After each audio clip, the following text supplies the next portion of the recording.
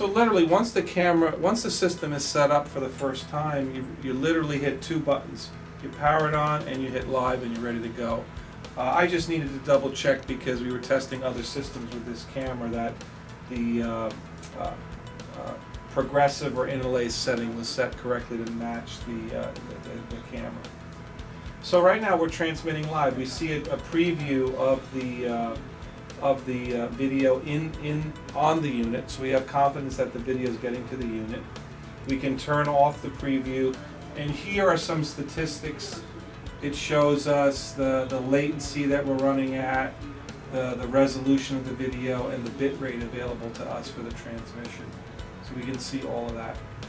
Uh, this little diskette here, when I press that now, we're recording to the internal SD memory at a high high resolution, high bit rate 422 recording, not the variable transmission bit rate recording, but a constant high quality recording.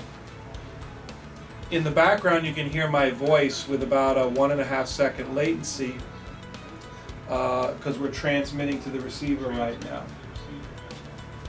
So uh, uh, I can let that record, I can look back at the video. So the signal here is going out over the cellular network. Uh, I don't have a LAN connection connected right now, but there could be two LAN connections.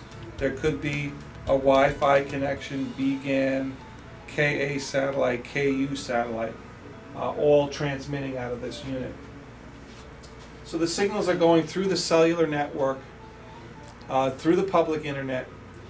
They're hitting the internet connection here in our office. We have a public IP address. So this unit is, is sending all of its packets to the public IP address of our, our office, and then that public IP address is forwarded to the internal uh, network IP address of the, of the receiving hardware. And the receiver is called the DMNG Stream Hub.